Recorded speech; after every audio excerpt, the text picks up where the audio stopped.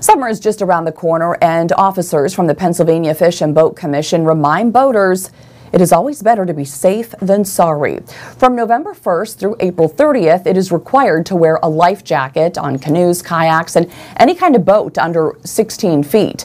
This is in response to the cold water law. This time of year, the law switches back to normal now that the weather is warmer. Kids 12 and under on boats 20 feet and under have to wear a life jacket while they are on the waterways. Now, a waterway conservation officer from the PA Fish and Boat Commission also reminds boaters to check things out before going out on the water for the first time of the season.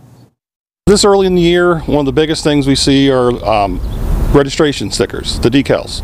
People get their boat out of the water or out of a barn, uncover it, and it, they have the sticker sitting at home. You know, we'll see a 23, which is currently expired. Um, so we'll pull them over, the, and it's registered. It's just they have the stickers at home or they forgot to put them on.